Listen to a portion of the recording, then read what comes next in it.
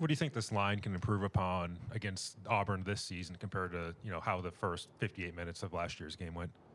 Uh, definitely protecting Bryce, being able to scheme the right game plan and uh, opening lanes in the running game to give us a balanced offensive attack. Uh, we're all coming into this week trying to get back to the Alabama standard and finish one and zero. Charlie on the right. In this last game, we saw Amari come in for Tyler at left tackle. Just what did you see from him in that game, and maybe how he's made progress over the course of the year? Ah, that's big bro right there. Uh, Kite, Kite's one of those guys who are even kill. You know, he works hard every day in practice. I, have been able to take a couple of reps with him, especially earlier in the season. So uh, I got all faith, all trust in Amari Kite. I know that he's an excellent player and he'll go in and execute whenever his number's called. Other questions? Go front row here, Will.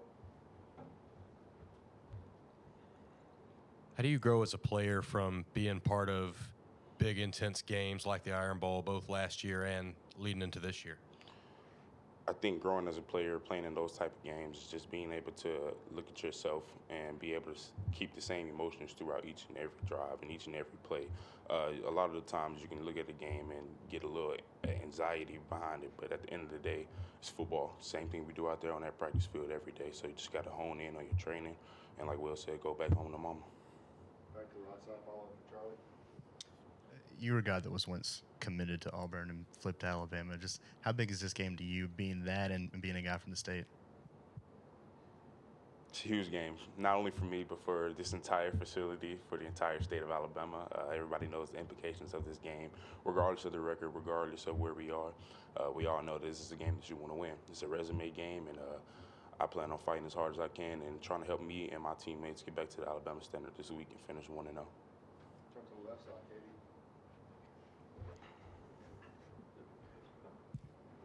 Javion, how much is what Jase was able to do in that last game in the running game, run blocking, something that um, you want to keep building on in the Iron Bowl this week? Uh, it's something we've been trying to get together all week, uh, all year actually. You know, Jase is a great, great running back. You know, excellent vision. Is a heavy ball carrier. Ball carrier, sorry. But um, yeah, that's something that we want to get back to. It's something that we always look forward to is running the ball and allowing him to hit them lanes and do what he does best. Front row, Michael. I know you really seem to embrace the Iron Bowl rivalry last year. What are your memories of, of some of those interactions?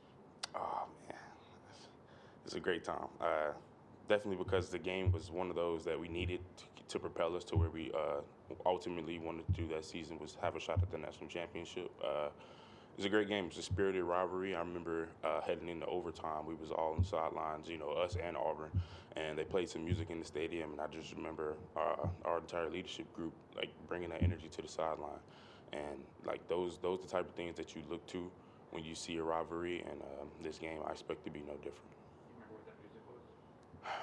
I think it was some Waka Flocka for real, for real. Like it was, I don't know. I don't even remember. Like I just remember my legs being tired for jumping for two minutes and then having to go right out. Yeah, that wasn't a good plan. Front row, Mike. Auburn has a few guys back along their defensive line from last year, and Hall and Wooden. Just what do you see from those guys, and what challenges they uh, present to you?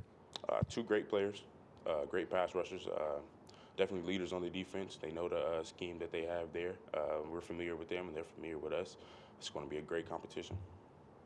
On the bill here, James. Um, after the game, Seth McLaughlin said that you know the offensive line really honed in on trying to impo- impose their will against uh, Austin Peay. I mean, can for people that have not been in y'all's shoes, like what's it like to be really kind of imposing your will on the, especially at the line of scrimmage? Um, it comes in all forms of different types of things, but ultimately just having the offense clicking on all cylinders, and we all know that that starts with us up front.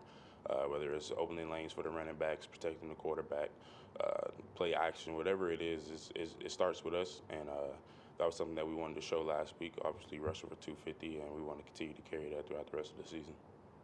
Do a couple more questions. Start with Marcus. Um, of course, we don't know if this is Bryce's last game or last games at Alabama. But in the three years you spent with him, like, what are what are some of your favorite memories of Bryce, not only as a teammate but just as a person? That's too many to count. God. Bryce is just such a great person. Like, if I was a GM in the front office, no doubt, number one overall pick for me. Uh, a great guy, team guy. You know, and it is nothing too big for him, nothing too small for him. He doesn't put no one over himself, and he's always for other people. Probably my greatest memory. I'd have to say I came back Arkansas with a broke wrist, and we came up with a new celebration.